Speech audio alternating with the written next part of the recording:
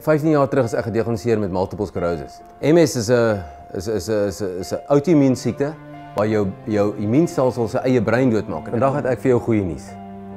Go Natural sal jou lewe verander. 12 jaar terug het ek my tweede kans gekry, ek het hom gevat en my lewe is heel verander. Net soos ek beheer oor my gesondheid gevat het, so kan jy ook beheer vat oor jou eie gesondheid. Die inligting is daar. Jy kan dit doen.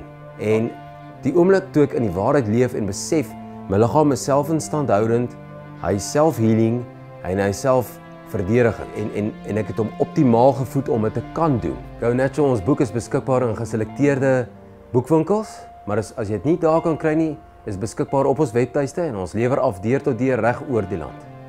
Die voordeel wat jy gaan kry ook aan daai boek is, daai boek het ook 72 resepte.